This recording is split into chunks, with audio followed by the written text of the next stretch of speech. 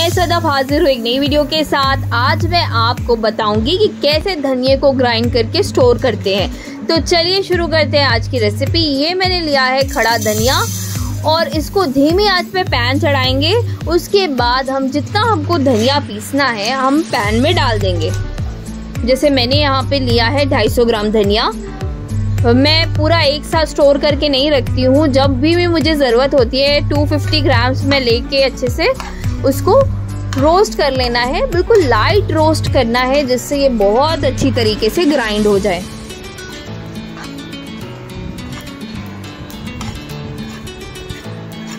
धीरे धीरे इसे चलाते रहिए और बहुत अच्छे से चलाइए, जिससे सारी जितनी भी धनिया है, सब अच्छी तरीके से रोस्ट हो जाए।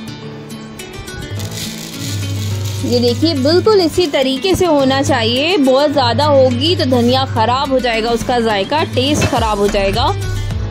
अब हम एक प्लेट में निकाल के इसको ठंडा होने देंगे। अच्छे से फैला दीजिए।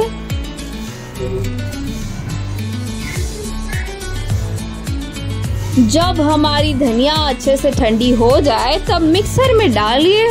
और अच्छे से ग्राइंड करिए ये धनिया मतलब जब हम इसको रोस्ट करते हैं तो ये बहुत अच्छी तरीके से ग्राइंड हो जाती है, एकदम बारीक हो जाती है। वैसे जो हम लोग मार्केट से धनिया लाते हैं, उसका खाना बना के देखिए, और एक बार इसका खाना बनाकर देखिएगा, आपको अपने आप फ़र्क समझ में आ जाएगा कि जो देसी होता है ना, वो सच में सब बेहतरीन होता है।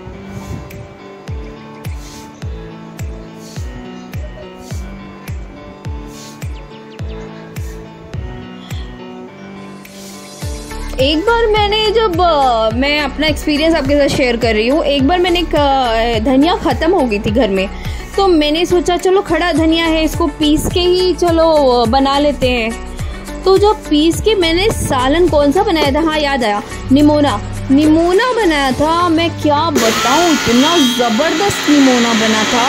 भाई, सब लोग बोल रहे थे कि मतलब क्या अलग डाला, क्या बनाया, कैसे बनाया मतलब इतना जायकेदार कैसे हो गया? मतलब कैसे बन गया, बहुत टेस्टी माइंड ब्लोइंग आउटस्टैंडिंग तो ये सब ना मसालों का कमाल होता है। कुकिंग समझ लो, एक मसालों की कमाल की बात है, जो समझ लें, वो हिट है। तो हमारा ग्राइंड हो गया, हमने बॉटल में डाल के अच्छे से स्टोर कर लिया।